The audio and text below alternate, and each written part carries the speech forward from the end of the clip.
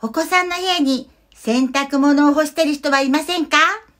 ダメですよ。皆さんこんばんは、ゆみです。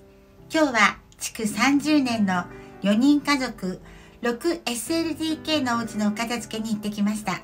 今日は小学生のお嬢さんのお部屋を片付けました。最初に見た時に洗濯物がたくさん干してありました。そこがお嬢さんの部屋だとは思いませんでした。猫ちゃんが4匹いるんですが1匹の猫ちゃんが引きこもりの猫ちゃんでそこにずっといたんです。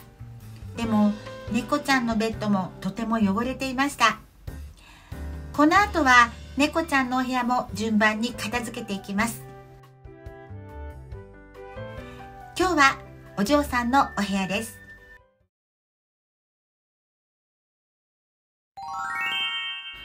これがお嬢さんのお部屋です。と言っても洗濯物が干してあるだけのように思えました。この奥に机があるんですけど全然気がつきませんでした。ここはお嬢さんのお部屋なのでお嬢さんのもの以外は撤収していただきました。今回は収納を買い替えました。息子さんの部屋からタンスを移動してきました。私はお片付けの際に全部出しをしますが、これは全部出しをしたわけではなく、最初からこの状態です。洗濯物をすべて外しました。物干し竿は和室に移動しました。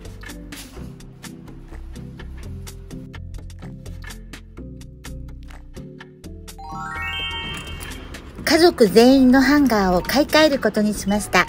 大人のハンガーはニトリで、子供用の小さなハンガーはセリアで買いました。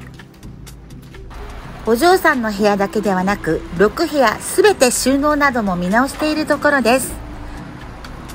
ニトリと無印のスタッフの方がタクシー寄せまで運んでくれました。なんとなく買うのはやめた方がいいです。しっかり採寸して計算して買っています。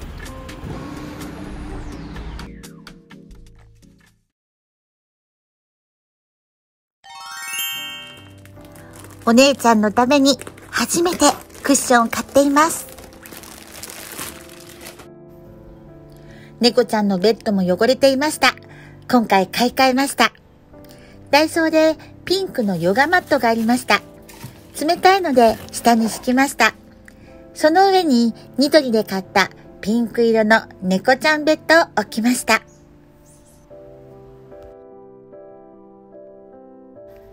ゴミ箱もピンク色にしました。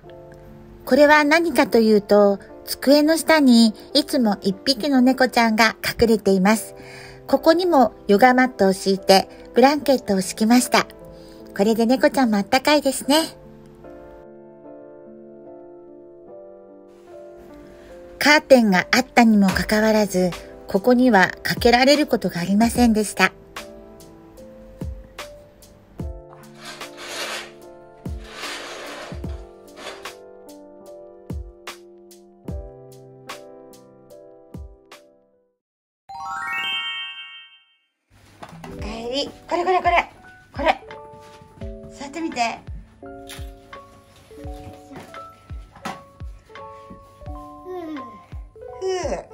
それでねれいちゃんのランドセルあそこに置こうと思ってどう？置いてみて。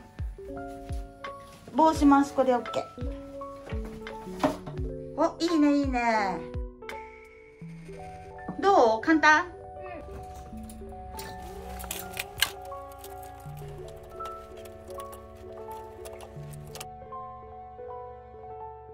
滑らないのこれ。でれいちゃんお手伝いしてもらっていい、このハンガー外して全部新しいのにするから。ここでいいよ座って一緒にやろう。こうやって全部外して。新しいのにしよう。いっぱい可愛いお洋服あるね。何色好き？ピンク。そうだよね。ねここふわふわしてない？いいでしょここはれいちゃんの秘密基地。お友達呼んでいいよ。可愛いの飾ろうね、いっぱい。どう？お部屋ができて。一緒にやろう。みんなで一緒にやろう。楽しいね。色でさ、ピンクとか分けちゃおうか。もう今日かられいちゃんのお部屋だ。まだ飾りと、これから椅子を買うから、そしたらここでさ、本読んでもいいし、今までこのお部屋で過ごしたことないでしょ？今日からは過ごせるよ。ちゃんと色の順番にしたよ。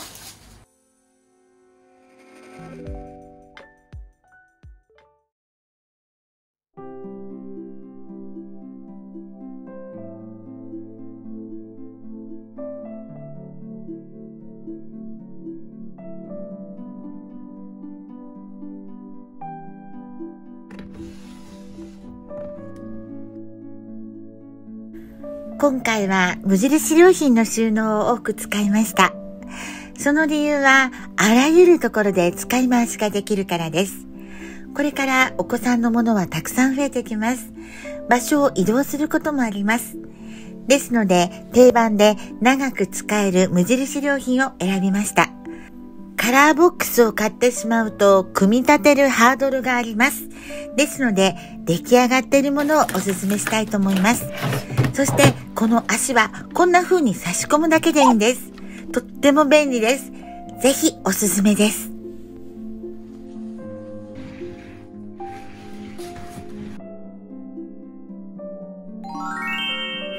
息子さんの部屋にあったタンスをお嬢さんの部屋に持ってきました。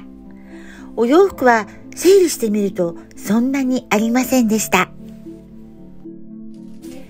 お部屋が片付いたので私からハンドメイドのピンクのリースをプレゼントしました。ちなみに私、フラワーアレンジの講師をやっております。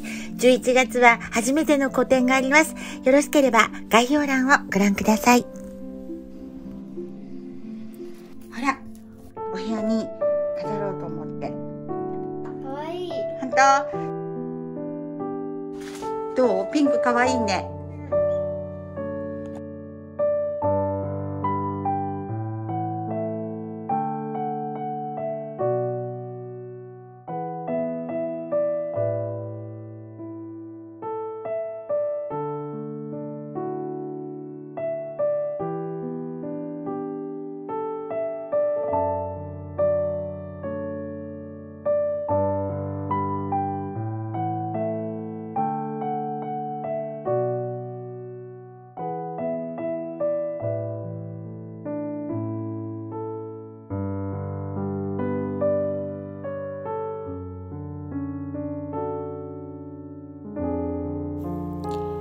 以前はこの寝室の和室の中に EV たち、可愛いぬいぐるみたちが混在していました。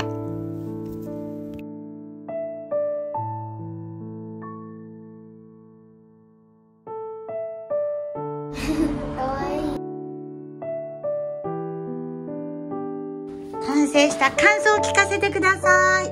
昔はこんなじゃなくて、ばっかりだったけど、うん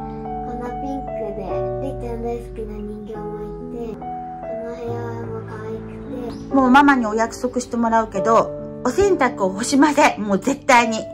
ね、お約束してもらう。ママいいですか？はい。はい。ここはれいちゃんのお部屋です。れいちゃんのものだけ。猫ちゃんとれいちゃんのものだけ。このお部屋の中で一番気に入ったところは何ですか？えー、うん。この机。机何が置いてあったの？前。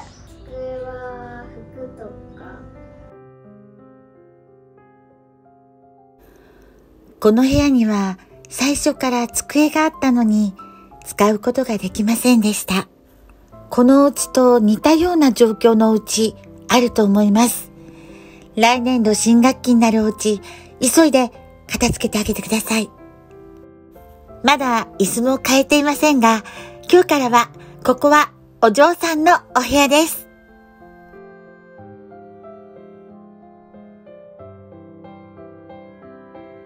子供のお部屋は子供のものだけを置きましょう。家族のものを置いてはいけません。今日も動画を最後までご覧いただきありがとうございます。この YouTube チャンネルではお片付けや収納のご紹介をしていきたいと思っております。よろしければチャンネル登録お願いします。コメントは励みになるのでお待ちしておりますそれではまた次の動画でお会いしましょうマイスタイルユミーでしたありがとうございました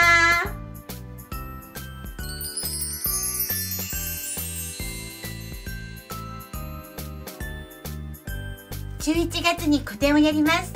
よろしければ概要欄をご覧ください。